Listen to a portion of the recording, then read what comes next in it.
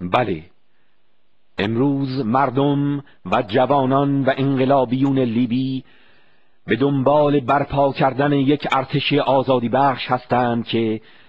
جامعه بین المللی هم آن را به رسمیت شناخته است و فراوان به آن کمک می کند. گناه ما این است که 25 سال زودتر به این فکر افتادیم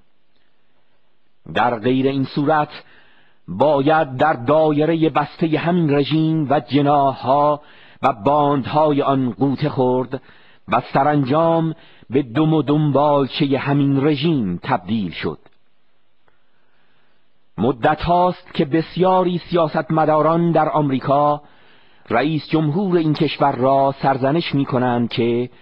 چرا در بهبوه قیامهای مردم ایران در سال 88 به کمک نیامد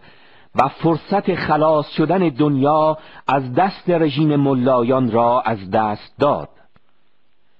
اما هیچ کس نمی‌گوید که با وجود سپاه پاسداران ولایت فقیه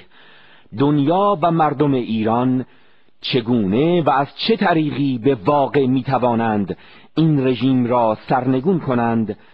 و یا به سرنگونی آن کمک کنند؟ اما ما در همان زمان هم در عین بزرگ داشت قیام ها و جانفشانی برای آن و تقدیم قهرمانانی همچون علی سارمی، جعفر کازمی و حاجقایی و بسیاری زندانیان دیگر در استراتژی قیام و سرنگونی گفتیم. اشرف کانون استراتژیکی نبرد و نقدینه بزرگ ملت